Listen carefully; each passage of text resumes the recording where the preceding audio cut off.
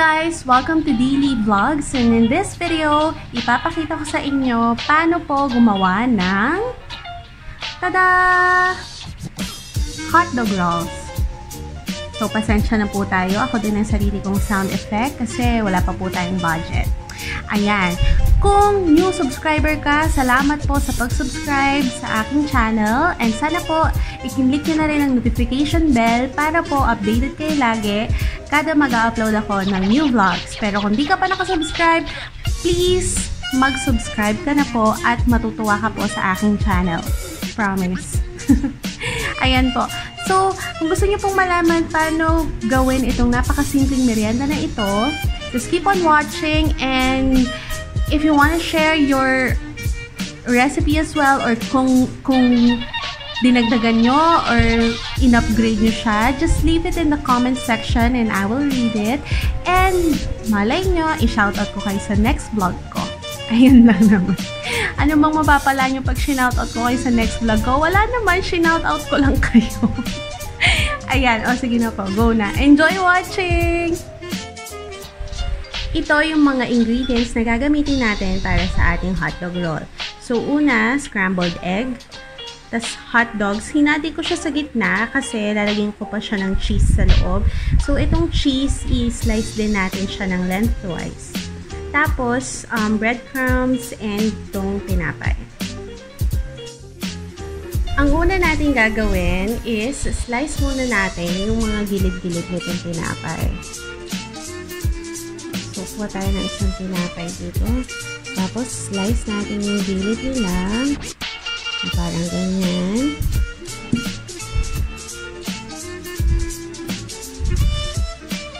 Ayan. So, dapat ganito na lang yung matira.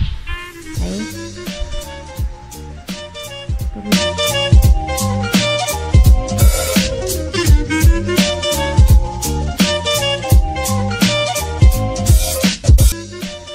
Ngayon naman, kailangan natin ng rolling pin. Pag wala kayong rolling pin, pwede naman din kayong gumamit ng puwet ng baso para ma-flatten yung tinapay. So, dapat dito, isa-isa lang. And then, isusog ko ng konti. Sorry, nanginginig pa. Ayan. So, pagka nandyan na siya sa ating lagayan ng ano, ipa-flatten natin siya. Dapat, sobrang flat niya.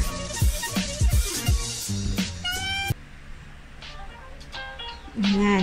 Parang ganito. Dapat ganyan na lang siya kanipes. Kung nakikita niya. Then,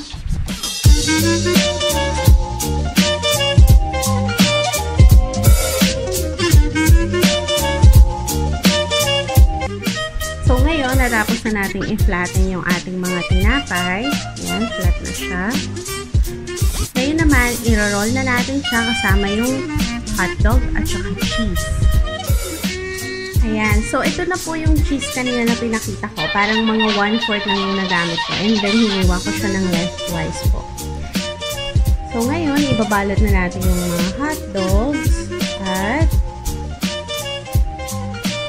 yan. Kung makikita nyo, medyo lagpas siya. So, ang gagawin ko, um, hihiwain ko yung lagpas niya. So, hihiwain ko siya like this. And then, ipapasok ko lang din siya ulit dun sa loob. Pero para lang hindi siya pangit mamaya pagka ano, naluto na. Then, lalagyan natin siya ng dalawang cheese. Yan. So, pagka nalagay mo na, parang lumpia lang siya, ibibilot natin siya ganito. Dapat mahigpit para hindi siya maglulusin habang piniprito.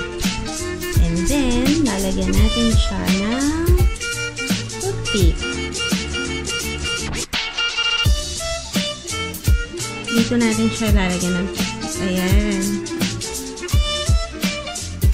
So, ito na yung ating unang hotdog roll. Ihalo lang natin to hanggang matapos na.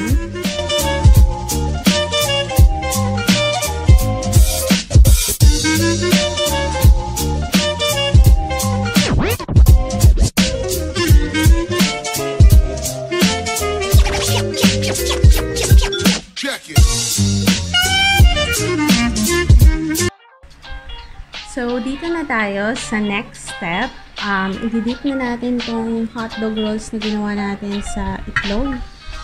Ayan, dip na natin siya. And then, okay, lalagay natin siya dito sa breadcrumbs. Ayan. Ayan, ganun.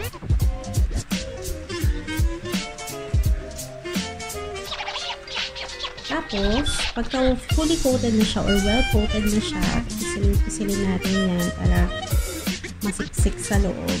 Mga dapat masiksik. Ayan. Pagka fully coated na siya, medyo takpak natin ganyan. Tapos, lagyan na natin siya. Then, ganun lang din gagawin natin sa iba. Di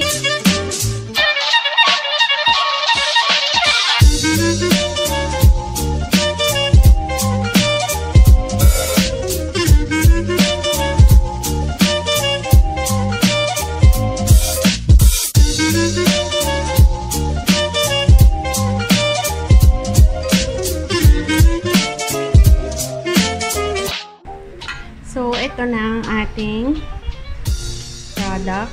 Product daw, hindi. Ito na yung pwede nating iprito. Ang ganda ng itsura niya. Para siyang nyog. Pero breadcrumbs pala. Ayan. So, ngayon, i-deep fry na po natin siya.